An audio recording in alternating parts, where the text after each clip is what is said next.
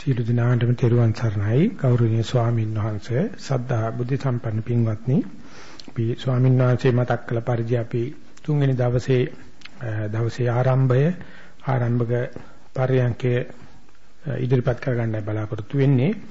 ඉතින් අපි මේ තාක් කල් යොදාගත්ත කාලසටහන හැටියට මෙතෙන් සිට පැයක් අපි පරියන්ක භාවනාවක් වාඩි වෙලා කරන භාවනාවක් කරනවා. ඊගාව පැයේදී අපි සක්මන් භාවනාවකුත් ඊපස්සේ 10 මාර සිට 11 මාර දක්වා නැවත පරියන්කයකුත් කිරීමටයි සැලසුම් කරලා තියෙන්නේ. ඒක තමයි අපි උදේවරුේ සතිವಾರේ.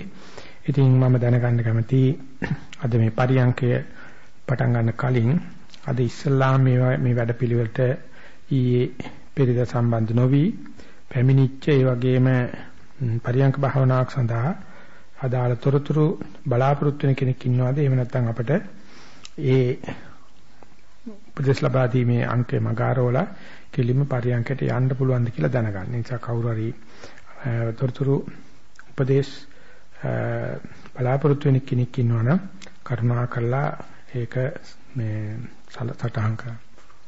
අද කල්සේ අලුතෙන් මාපුවයි. දැයි එක්කෙනෙක් ඉන්නවා දෙන්නෙක් ඉන්නවා තුනයි. ඒක නිසා අපි ඒ කට්ටියටත් ගැළපෙන්න දැන් කරගෙන යන අයටත් බාධාවක් නොවන විදිහට භවනා යෙදෙන අතරම ඒ උපදේශ පන්ති ඉදිරිපත් කරන්න බලාපොරොත්තු වෙමු. ඒ නිසා සියලුම දෙනා මෙතෙන් පටන් පැයක භවනාවක පැයක පරියන්ක යෙදෙනවා කියන අදහසින් ඒ පරියන්කයකට සුදුසු Taman පුරුදු කරගෙන තියෙන ආසනයකට එන්න එක්කෝ මේ විදිහට බිම වාඩි වෙන එක හෝ නැත්නම් Taman ඉන්න පරිදි ඒ ආසනේ පුටුවේ වාඩි වෙලා ඒ ආසනය බොහොම හරිබරි ගහිච්ච එහෙම නැත්නම් පහසු එකක් බවට පත් කරගන්න. එහෙම පත් කරගන්නේ ඒ පරියංකේ පරියංකේ විසින් පවත්වාගෙන යන්න කයට ඕන පහසුකම් ටික දීම සඳහා. ඒ නිසා වාඩි වෙලා Taman ඉඳගෙන ඉන්න ඉරියව්ව දෙපැත්ත සමබරද කියලා පොඩ්ඩක් බලන්න. හොඳට සමබර නැත්තම් ඒ හරි පරි ගහිලා හදලා දෙන්න. හදලා දීලා ඒ ඉරියව්වට හිත යදුවට පස්සේ තමන්ගේ ශරීරයේ කොතනක හෝ දැඩි ගතියක්, දඬු ගතියක්, අසමබර ගතියක් තියෙනවා නම් ඒක සහැල්ලු කිරීම සඳහා හැම මස්පිඩුවක්ම ලිහිච්ච ස්වරූපයෙන් සහැල්ලු ස්වරූපයෙන් පවත්තන්න. එතකොට මේ දෙපැත්තේ සම්බරකමත් මේ සහැල්ලු ගතියත් නිසා ඉදියව පැවැත්වීම බොහොම ලේසි පහසු කෘත්‍යයක් වෙනවා. අන්න ඒ ටික සමත අනුග්‍රහය අනුග්‍රහිතයක් වශයෙන් අනුග්‍රහයක් වශයෙන් කල්පනා කරලා කයට මේ පහසු කන් ටික ඉරියව සම්බර කරලා දුන්නට පස්සේ මු르දු විදියට ඇස් දෙක වහලා අවධානය නැත්නම් මනස තමන් ඉන්නර ඉරියව්වේ සුවයට සමබර භාවයට යොදන්නේ. මේ යොදනකොට පහසුවක් සහැල්ලුවක් ශරීරත් එක්ක හාද ගතියක් මිත්‍ර ස්වරූපයක් මෙලෙක් ගතියක් තමයි වැටෙන්නේ. යම් විදිහකට එහෙම නැත්තම් එහෙම මිත්‍ර ස්වරූපයක් මෙලෙක් ගතියක් නැත්තම් ඒකට හේතුව මේ ඉරියව් එච්චර පහසු නැතිකම වේදනා නැත්තම් බාහිරින් එන සද්ද නිසා හිත වෙහෙසටපත් වෙලා එහෙම නැත්තම් හිතින් එන හිතවිලි ධාරා ඉතින් මේවා තියෙනවාද කියලා බලන්න හොඳම වැඩේ Taman අර කය ලකලැස්ති කරන හරි බරි ගහිලා වාඩි වෙලා කයට හිත යොදනවා. කයට හිත යොදන වෙලාවේදී මම දැන් මෙතන ඉඳගෙන ඉන්නවා කියන එකට හිත ආවොත් ඒ භාවනාවට දැන් ලෑස්ති. ලෑස්ති බාට පළවෙනිම සංඥාව තමයි කයත් හිතත් ආද වෙන ගතිය. මිත්‍ර ස්වරූපය. මෙලෙක් ගතිය. මෛත්‍රිය. මෙන්න මේ ටික ඊටාම වැදගත් පරියංකයකදී. ඉතින් අර උදේ පාන්දර පරියංකයේදී නැත්නම් උදේවරුේ කරන පරියංකයේදී මේ ගතිය බොහොම ප්‍රකටයි. ඒ නිසා බොහෝ විට මේ පරියංක සාර්ථක වෙන්න බලනවා. ඒක සාර්ථක වෙයි කියලා හිතන්නේම නැතුව ඒ අවශ්‍ය කණු සකසලා දෙන්නවා. දැන් අපි මේ ඉන්නේ අන්නේ පරියංකයක වාඩි වෙලා. ඉතින් මේක බොහොම කලාතුරකින් අපිට අවස්ථාවක් ලැබෙන මම දැන් මෙතන කියලා. ඒ මොකද එහෙම කියන්නේ අපි හුඟක් වෙලාවට දැන් මේ මොහොතේ නෙවෙයි ගත කරන්නේ. මේ මොහොතට එළඹිලා නෙවෙයි ගත කරන්නේ අපි අතීතයේ හෝ අනාගතය කැමැති වුණත් අකමැති වුණත් බොහෝ විට ඇසුරු කරමින් ගත කරන්නේ මේකට කියනවා ප්‍රමාදය කියලා. ඒ වගේම හිත මෙතන නෙමෙයි පවතින්නේ. දුරංගමං ඒක චරං කියන විදිහට ඒක හැසිරෙනවා. ඒ හැසිරෙන සෑම වෙලාවකම අපි අස්ථානගත වෙලා ඉන්නේ. ස්ථානගත වෙනවයි කියලා කියන්නේ මේ මොහොතේ මෙතනයි. ඒ වගේම හිත දැන් මෙතන කියන තැනට ආවට පස්සේ අනුන් ගැන කල්පනා කරනවා. අනුන් මං ගැන මොකද්ද හිතන්නේ කියලා කල්පනා කරනවා. මං අනුන්ට කොහොමද ඒ ඒ ආකල්ප ලබා දෙන්නේ කියලා කල්පනා. මේ සේරගෙම වෙන්නේ ක්ෂණ සම්පත්තිය ඉක්මවන එකයි. ඒ නිසා අන්න ඒ වැඩේ නොවෙන්න සියලු පහසුකම් සලසලා හිත මම දැන් මෙතන කියන තැනට ගන්න.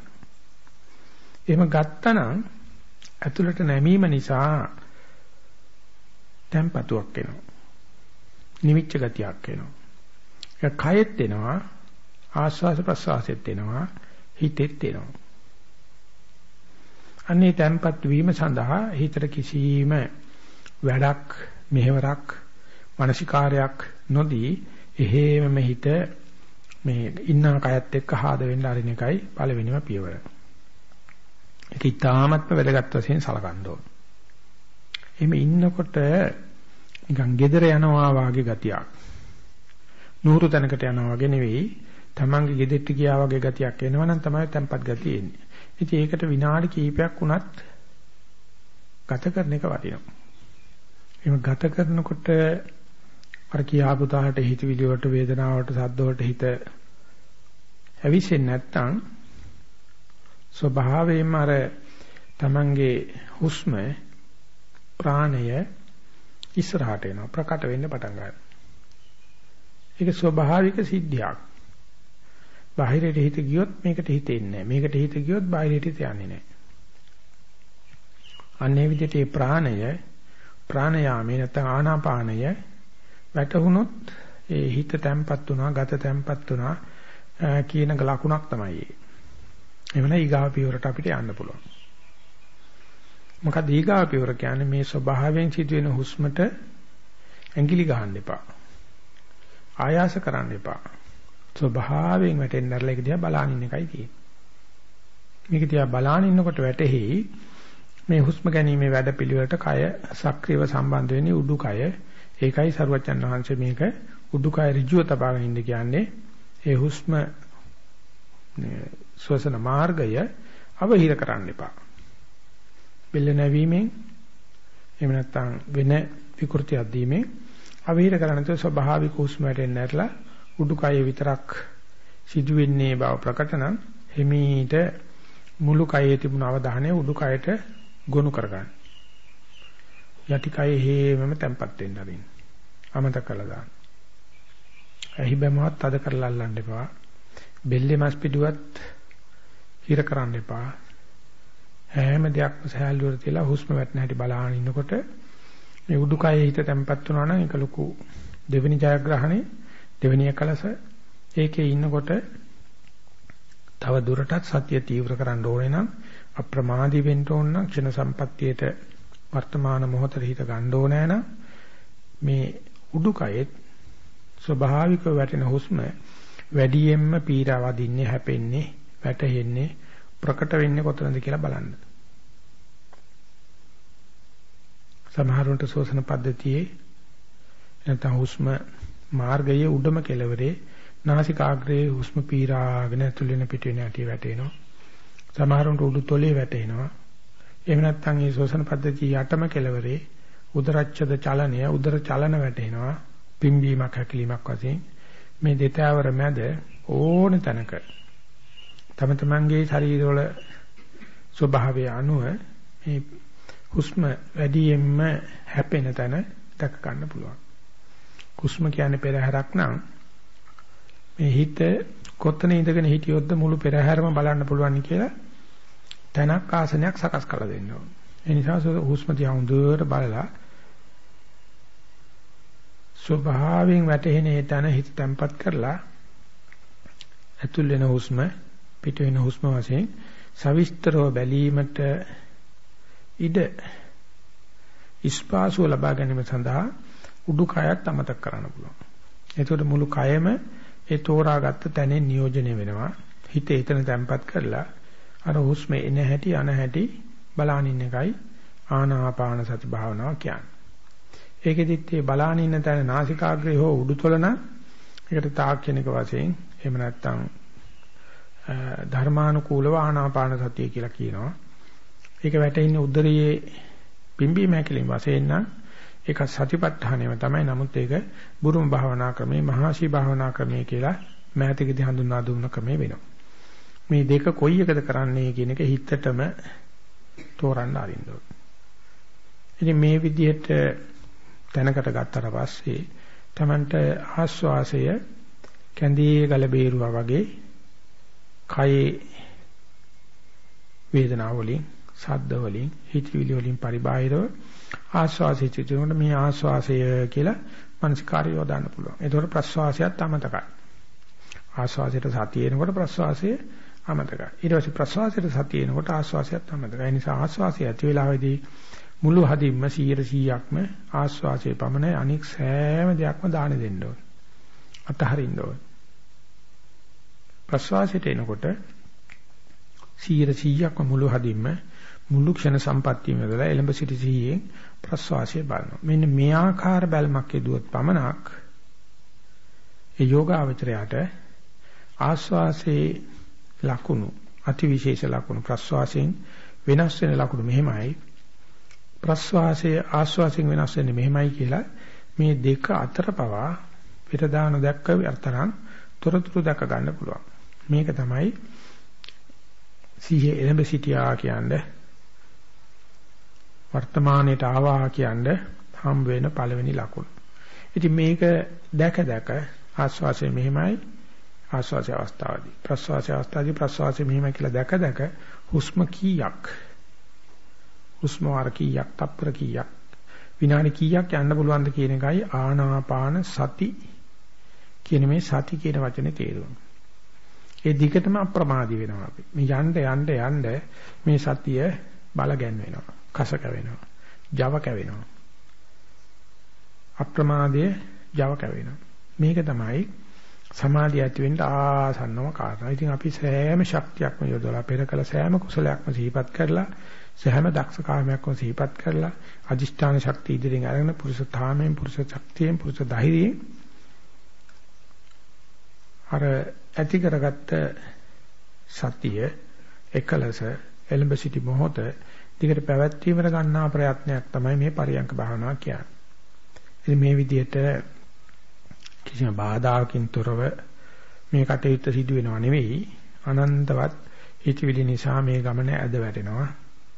ශබ්ද නිසා හෙල්ලුම් කරනවා. වේදනා නිසා හිත එහෙම දුවනවා. ඉතින් ඒවා දියුන එක Tamange දෝෂයක්වත් තමන් අත්තරක් දක්වත් නෙවෙයි ස්වභාවය. ඒක ගියාට පස්සේ කරදරේ ගියාට පස්සේ ආයසරයක් ආධුනික හිතක් ඇති කරන ආයතර එකලස ආරම්භ දෙන එක තමයි ඉවසීමෙන් තපස් ගුණය ආතාපි ගුණය කියලා කියන්නේ. යෝග ආචරකම කියලා කියන්නේ. නිසා එන සද්දයක් එන වේදනාවක් එන සත් හිතවිල්ලක් ආපු දෙයින්. ඇවිල්ලා ගියාට පස්සේ අපි නැවතත් ස්ථාපිත කරගන්නවා සතිය. මෙන්න මේ සතිය ස්ථාපිත කිරීම තමයි සතිපට්ඨානයි කියලා කියන්නේ. ඒක සඳහා කවදාකවත් අපේ සුදුසුකම් අපෙන් ගිලිහෙන්නේ නැහැ. කොච්චර බාධා වුණත් නැවත පිහිටුවා ගැනීමේ ශක්තිය මිනිස්යා තුළ සදාතනිකවම තියෙනවා. ඒ නිසා බාධක පිළිබඳව තිත්තවුල් කරගන්න එපා. බාධක වලට විරුද්ධ වෙන්න එපා. ඒව ආවට ඒවත් එක්ක වැඩිතුර ගැටිලා හිත සලා ගන්න එපා. සැලෙන ගතිය තමයි ඒව ගොඩක් දිගින් දිගට බාධා වෙන්නේ. බාධකේ අපිට ප්‍රශ්නයක් නැහැ. බාධකේ මතින් හිත නරක කරගන්න. සැලෙන්න ගත්තොත් ඒක දෙවෙනි බාධා වෙනවා. ඔන්න දෙවෙනි බාධාව තමයි අපිට කර්ම රැස් කරන්නේ. ඔය සංසාරේ දික් කරන නිසා මේ බාධාව බාධා වශයෙන් නතර වෙලා ඉන් එහාට නොගිනියා ගන්න නම් මූල කර්මත්තාන්ට වැඩිපුර ප්‍රේම කරන්න ඕනේ. ආදර කරන්න ඕනේ. ගෞරව කරන්න ඕනේ. එතකොට සමහර වෙලාවක් එනවා බාධාවල් බාධක නොවේයි මත්තර යනකොට ඒවා සාධක බවටත් පත් කර ගන්න පුළුවන්. අන්න එවැනි ගැඹුරු සත්‍යයක් ඇති කර ගැනීම සඳහා අපි දැන් මෙතන පටන් කාලය ගත කරනවා. නිසා සියලුම දෙනා මේ එකලස සකස් කරලා දීලා තවත් කෙනෙකුට මගෙන් බාධාවක් නොවේවා තවත් කෙනෙකුගේ දෙයක් මට බාධාවක් නොවේවා කියන මෛත්‍රී සාගත ප්‍රඥා සාගත කල්පනාවෙන් අපි මේ ලැබුණා වූ උතුම් කාලය උපරිම සත්‍ය පිහිටුවා ගැනීම සඳහා යොදවමු. ශිරු දිනාට මේ වගේ සරු පැයක් බවටපත් වේවා කියලා මම කරුණාවෙන් මතක් කරනවා ප්‍රාර්ථනා කරනවා. ශිරු දිනාටම තෙරුවන් සරණයි. Thank you.